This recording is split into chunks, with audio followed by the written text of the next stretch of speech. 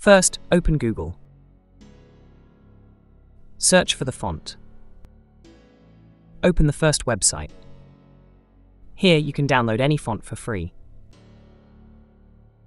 We are choosing from the curly section. Now, download your desired fonts.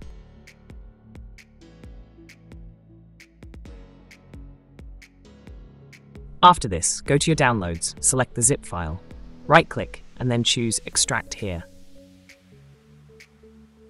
Next, sort by date modified to find your extracted font file. After this, go to your Canva design page.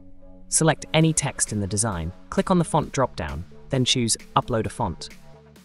Now, select all your font files, click Open.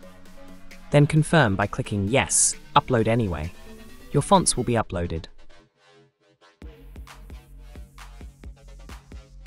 To use the uploaded font, select any text, go to the font dropdown, search for your font name, and click to apply it.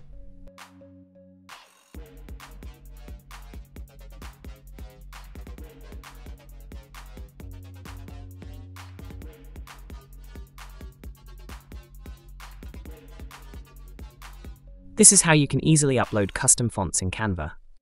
Thank you for joining me in this video. If you found it helpful, don't forget to give it a thumbs up and subscribe for more content like this.